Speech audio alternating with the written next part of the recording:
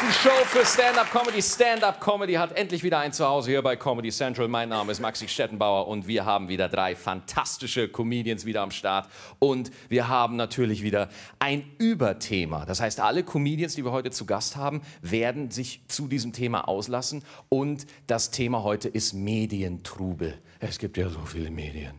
So viele Sachen in, auf den Medien. Instagram, YouTube, Facebook. Es gibt so viele Medien. Ich kriege das Kotzen. Instagram, das ist so der neue Shit, ne? Da laden sie alle irgendwie hoch. Ich, hab, ich bin ja selber auch auf Instagram und ich ja äh, finde es auch richtig gechillt so. Was mir auf Instagram so auf den Sack geht, das sind so diese ganzen Topmodels, ne? Die irgendwie ihre Fotos da hochladen mit ihrer Bildbearbeitung und ihren tausend Filtern ne? und dann so tun, als wären das ganz normale Schnappschüsse. Jo, mei, ich schau halt geil aus. Was willst du da machen? Dann sind die in den abstrusesten Positionen und tun so, als wäre das normal. Ja, es ist völlig normal, dass ich hier an so einer Palme lehne. Das mache ich immer.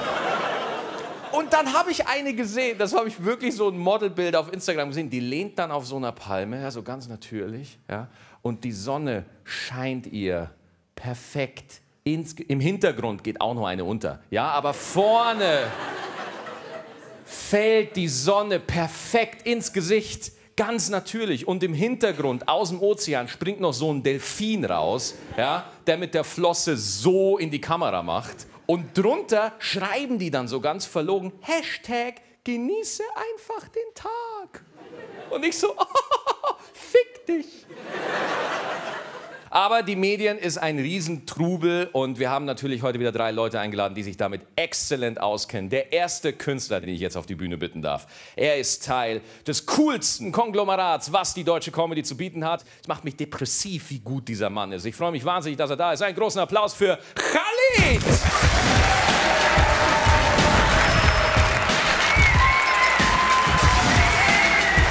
Okay, okay, okay, okay, okay. Cool, alles klar, geht's euch gut, gut, gut. Ihr seht, ist das geil. Der redet gerade von Models und auf einmal komme ich raus.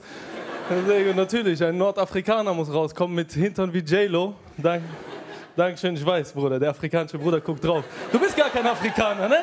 Du bist bestimmt Tamile, oder? Was, sondern? Boah, Sri Lanka ist richtig. Sri Lanka? Ich sag doch Tamile, du sagst nee, aber Sri Lanka ist richtig. Da gibt's ja mehr. Ey, ach, in Sri Lanka gibt's mehr, in Deutschland auch, aber trotzdem, alles deutsch. War auch gerade rassistisch, ich direkt gedacht du bist aus Afrika, oder? Ich kann auch keinen Deutschen von einem Holländer unterscheiden, tut mir leid. Du bist Holländerin? Echt?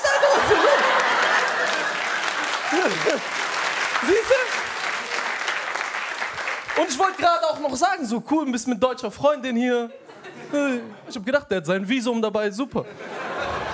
Ich komme aus Aachen. Kennt ihr Aachen? Kifft ihr? Jeder Kiffer weiß, wir haben die besten Grammpreise. Ich bin nach der Show vorne an der Tür und. Okay, ich glaube, die Holländerin hat bessere Preise, falls ihr was machen wollt. Ja. Ich war sehr nervös, bevor ich auf die Bühne gekommen bin. Ich habe meine Mutter angerufen. Ich so, Mama, bitte motivier mich, mach mir Mut. Mama, bitte motivier mich, sag mir was gut. Ich bin heute bei Comedy Central, Stand-Up 3000. Die so, warum 3000? 3000 Euro. Ich so, nein, viel weniger. Und meine Mutter sagt zu mir, Khalid, mach dir keine Sorgen, die lachen dich nur aus. Ich studiere und ich habe das Mikro, diesen Ständer gerade kaputt gemacht. Es tut mir sehr leid, ey, das geht gar nicht mehr drauf. Er ist schuld. Er ist schuld. Wir wissen, ein schwarzer Sri Lankese. Was soll ich denn jetzt sagen, wenn du kein Tamile bist? Singerlese. Singerlese? Größere Völkergruppe. Guck mal, haben wir was gelernt. Du hast es gelernt. Ich hab was gelernt. Doch, die anderen. Die anderen.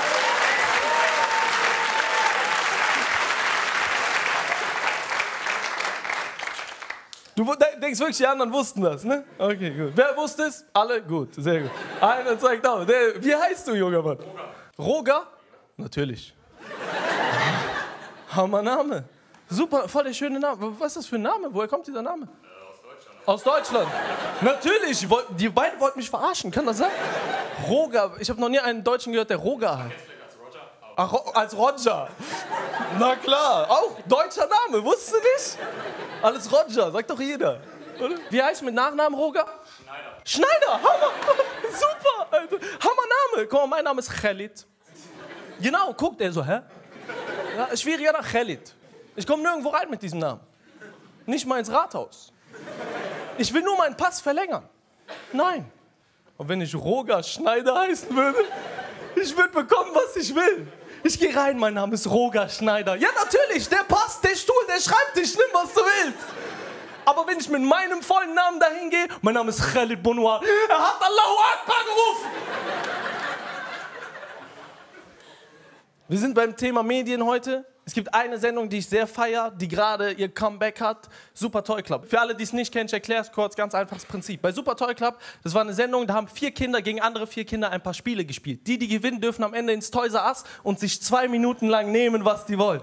Super Sendung. Ich habe es immer als Kind geguckt. Super Sendung. Ich wollte immer da mitmachen. Immer wollte ich da mitmachen. Das Problem ist, du brauchst drei Freunde. Ich hatte keine drei Freunde. Und die Jungs, die ich kannte, das waren alles gebürtige Deutsche aus gutem Elternhaus. So Roger ne, und Gerion. Und immer wenn ich die gefragt habe, hey, komm, wir gehen zu Super Toy Club, dann dürfen wir ins Toys R uns nehmen, was wir wollen, haben die immer geantwortet, na und, das kann ich auch so. Also wir sind reich, Khalid. Also musste ich meine Ausländerjungs fragen, die aus den Hochhäusern. Da habe ich die gefragt. Alle haben zugesagt. Das Problem ist, alle waren über 18. Also mussten Ausweise gefälscht werden und Bärte abrasiert. Wir kommen bei der Sendung an, der Moderator schockiert. Auf der einen Seite vier zehnjährige blonde deutsche Jungs, auf der anderen Seite vier ausgewachsene Kanacken mit Bart und Zigarette im Mund. Und er fragt auch noch einen von uns so: Bist du dir sicher, dass du erst elf Jahre alt bist? Ja, ja, Wallah, das Problem damit. Bei uns hast du Bartwuchs schon mit fünf, mein Freund. Natürlich haben wir gewonnen. Wir dürfen ins Toys Us uns nehmen, was wir wollen. Wir stehen an der Startlinie. Bei drei geht's los. Eins, bist du bereit? Ja, Wallah, ja. Zwei, einer holt Messer raus, keiner weiß warum. Drei, wir rennen los, alle schubsen sich gegenseitig weg. Verpiss dich, das sind meine Playstations. Ey, das sind zehn Stück, ich hab neun Geschwister. Man hört einen afghanischen Vater im Hintergrund. Ah, hol mal Rasierer! Die Mutter auch. Ja, hol mal Rasierer. Einer packt mittendrin sein Handy aus. Bruder, komm mal Hinterausgang mit Transporter. Ich habe nur eine Minute 30. Das Spiel ist vorbei und man gelangt an einen Tresor. Und der Moderator erklärt das Spiel mit dem Tresor. So, Kinder, hier befindet sich ein Tresor. Ihr benötigt vier Karten, um diesen Tresor zu öffnen. Ihr habt 30 Sekunden Zeit, diese vier Karten aus diesem Becken voller Bälle zu fischen. Kommt zurück, der Tresor öffnet sich auf magische Weise und jeder von euch bekommt noch ein Fahrrad und eine Playstation. Ist das nicht toll? Der Typ noch nicht mal zu Ende geredet, einer von uns schon am Tresor. Jalla Jungs, lass mal reingehen. Ich so, ey Bruder, wie hast du das aufgemacht? Bruder, McFit-Karte macht alles auf. Dankeschön, Köln, das war's von mir. Nice one! Ja, nice one, nice one! Ah!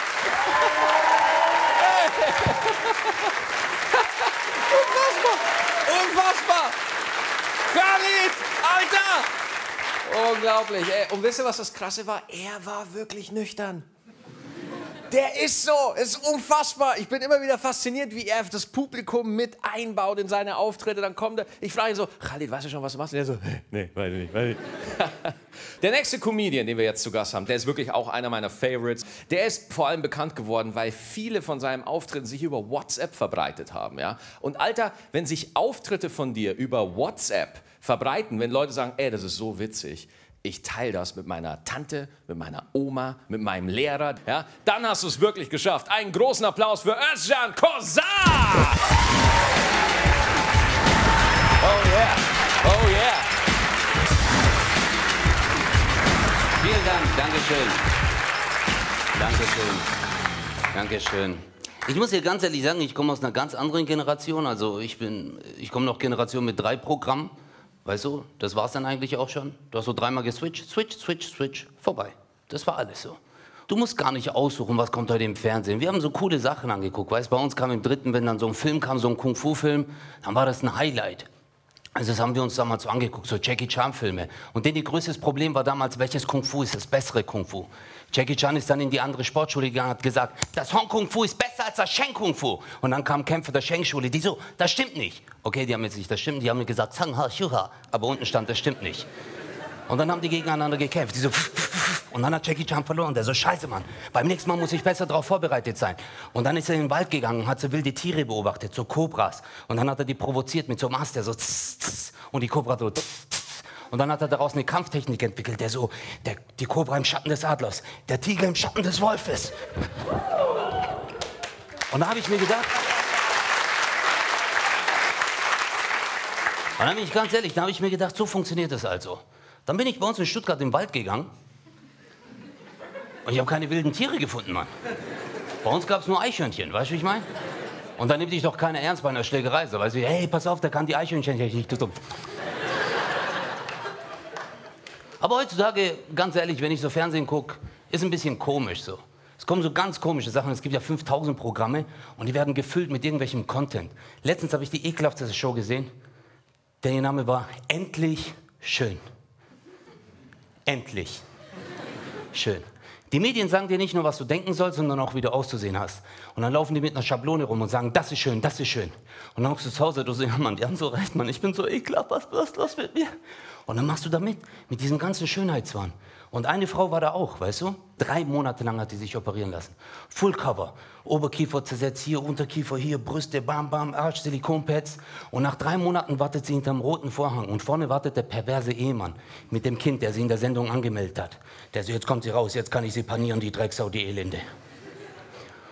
Und dann nennen sie diese Show endlich schön. Ich finde, man sollte der Show einen viel ekelhafteren Namen geben, damit alle wissen, wie ekelhaft und niveaulos die ganze Scheiße ist. Pimp My Wife. Und das Ganze moderiert dann nicht Exhibit, sondern Dr. Dre, ist ja eine medizinische Veranstaltung. Und Dr. Dre überrascht dich dann mit so einem riesigen Kamerateam, 20 Kameraleute, die so klingeln dann an der Tür, überraschen dich, du machst so Tür auf, Ding Dong, du so, yeah, Dre, yeah. Und der so, show me your bitch, motherfucker. Du so, come on, man, she's in the kitchen. Und dann machst du die Tür auf, äh, und der so, wow, shit. Is that your bitch? Du so, yeah, motherfucker. Der so, fuck, wie lange seid ihr schon verheiratet? 15 Jahre, fuck, brother. Wie hast du es bloß ausgehalten? Der so, keine Angst, du bist bei Pimp My Wife. Und dann Dr. Dre mit so einem Spuckrohr. Und bei der Frau so.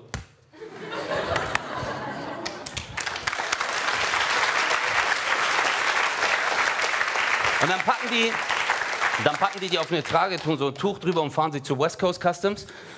Und dann warten dort die ganzen Spezialisten, so Zahnärzte, Schönheitschirurgen, Kieferchirurgen, die so, yeah, Dre, was hast du mitgemacht? Der so, und die so, wow, shit! Und dann der so, okay Leute, was machen wir jetzt mit dieser Ho? Dann der Zahnarzt so, bei der Fresse haben wir die 201 Bling Bling LEDs rein, Motherfucker. Wenn diese Frau lacht, kommt sogar Batman. Was sagt der Kieferchirurg? Nachdem wir hier operiert haben und dann bauen wir auf ihrem Rücken noch einen 16 Zoll LED-Fernseher ein, dann kannst du beim Doggy Style Playstation spielen. Oh yeah! Aber das sind halt die Medien. Es wird immer ekelhafter. Auch heutzutage hört, hört das in jeder Sendung hörst du das. In jeder Sendung kommt das jetzt. Jeder kann ein Superstar werden. Ihr könnt alle Superstars werden. Jeder kann ein Superstar werden. Und dann produzieren sie die geilen Shows namens Popstar, Eurovision Song Contest, Deutschland sucht den Hurensohn. Nee, nicht falsch verstehen, Leute, nicht falsch verstehen. Aber mal ganz ehrlich, so diese Leute, die da mitmachen, die haben doch mit Musik nichts am Hut. Wir haben in Deutschland so tolle Sänger, die trainieren jeden Tag, aber die wollen die in der Show nicht. Aber seien wir doch mal ehrlich, wir wollen die auch nicht. Wir wollen die, die abkacken in der Show. Die zum Casting kommen, die so, und du auch so zu Hause, du so, so ein Depp. Das sind doch Leute, die haben mit Musik nichts am Hut. Die sind normale so Leute, die beim Kacken singen. Weißt du, das sind die hier. Every night in my dreams I see you. I feel you.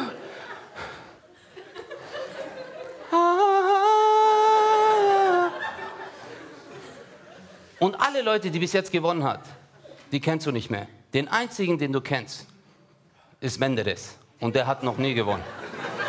Das war's von mir, Leute. Vielen, vielen Dank. Birds in the Hood. Check's out. Stand up 3000. Özcan Kozak! Yeah, man. Yeah, man.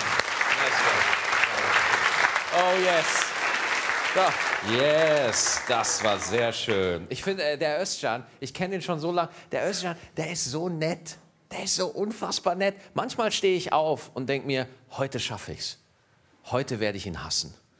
Heute kriege ich es hin. Aber ich schaffe es nicht. Er ist so nett und Khalid genauso. Und ich finde das so cool, dass wir auch so ein breites Spektrum an Leuten hier haben. Scheißegal, woher du kommst. Scheißegal, wie du heißt. Wenn du witzig bist, dann gehörst du hier hin zu Stand Up 3000. Und das ist wichtig zu sagen in einer Zeit, wo wir ständig Leute haben, die uns einreden wollen, dass das irgendwie komisch ist, zugereiste Kulturen oder sowas.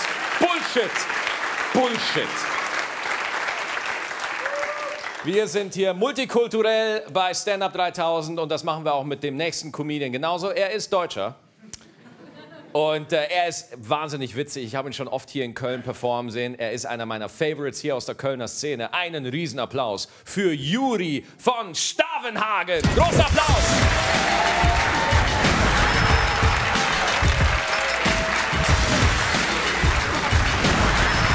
Dankeschön.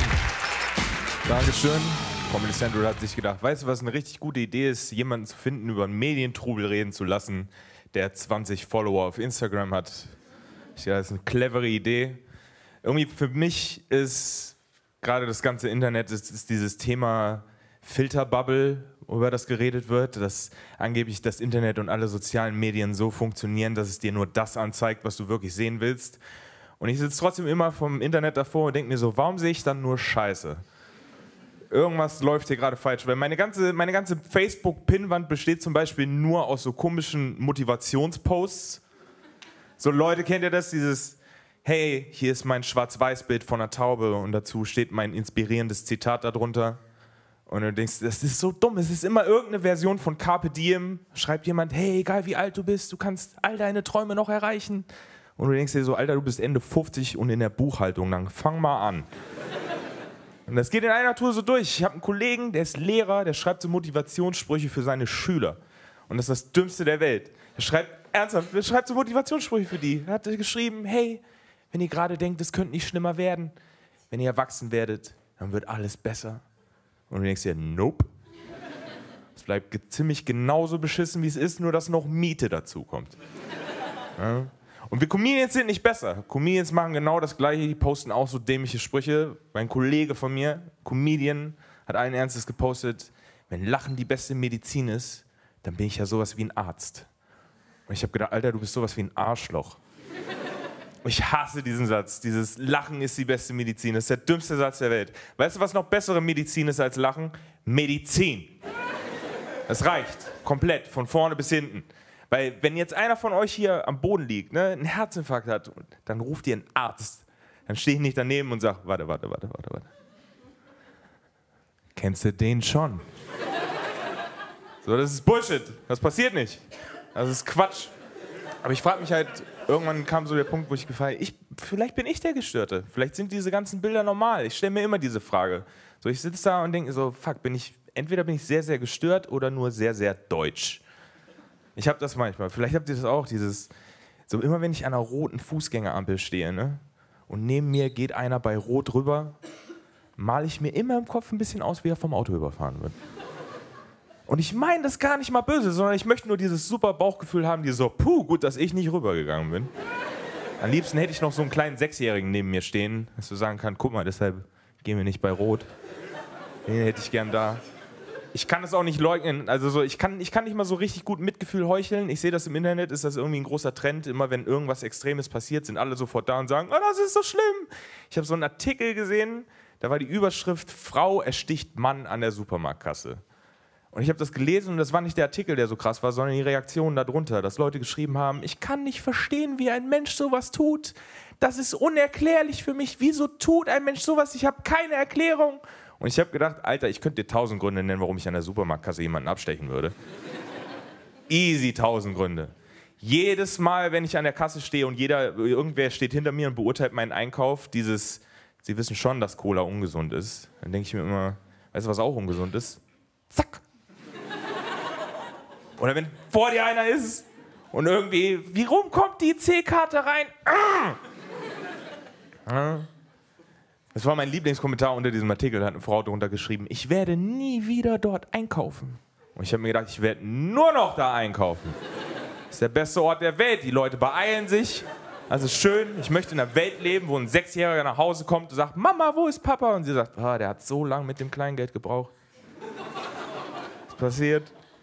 Es ist das, was mich stört und dieses Gefühl von, ich habe ich hab das Gefühl, du kriegst keine Antworten mehr auf Facebook oder sonst irgendwo. Im Internet, ja klar, kannst du es googeln, aber stell mal eine Frage irgendwo rein, du kriegst keine vernünftige Antwort. Weil ich weiß noch, wie ich nach Köln gezogen bin und ich wollte mir eine Pizza bestellen, weil ich hatte nichts zu essen da, bin gerade eingezogen, habe gedacht, was ist denn der beste Pizzalieferdienst in Köln? Und anstatt zu googeln wie ein normaler Mensch, habe ich im Netzwerk Köln nachgefragt, hey, wo gibt es den besten Pizzalieferdienst? Und dann statt mir zu antworten, schreibt mir eine Frau darunter, weißt du, Pizza kann man auch ganz einfach selber machen. Mit diesem miesen Unterton. Diesem, oh, wusstest du schon. Und anstatt einfach zu antworten, schreibt die Frau eine 20-seitige Dissertation darüber, wie man Pizza macht. Dieses, ach ja, das ist ja total einfach. Du brauchst nur Mehl und Wasser. Und wenn du kein Mehl zu Hause hast, dann kannst du ja beim Nachbarn fragen. Und dann knetest du fünf Tage lang den Teig. Und dann lässt du ihn noch zwei Wochen lang gehen. Und neulich habe ich erst einen ganz tollen Pizzaboden aus Blumenkohl gemacht. Mmh. Und du liest das und du schiebst so einen Hass, dass du dir im Kopf einfach nur ausmalst, wie diese Frau in ihrer eigenen glutenfreien Kotze erstickt. Ey, es hat mich so genervt, das gelesen zu haben. Es hat mich so angekotzt, dass ich die Frau aus Facebook gestalkt habe, nur um mich an ihr zu rächen. Ich habe gewartet und gewartet, bis sie einen Fehler macht. Ne? Und irgendwann hat sie geschrieben, mein Mann und ich überlegen, ein Kind zu adoptieren. Wie geht man denn da vor? Und ich habe drunter geschrieben, weißt du, so ein Kind kann man auch ganz einfach selber machen.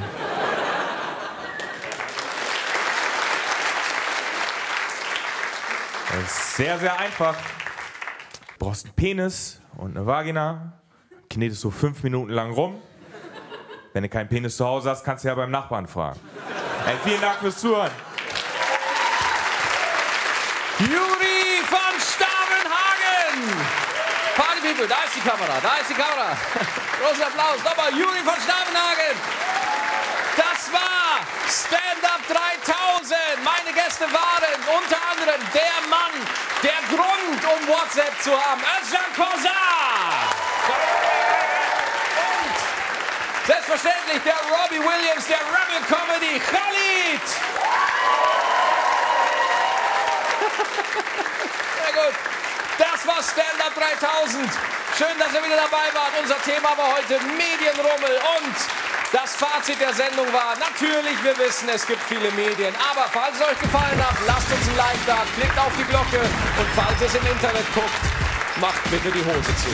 Dankeschön, bis zum nächsten Mal.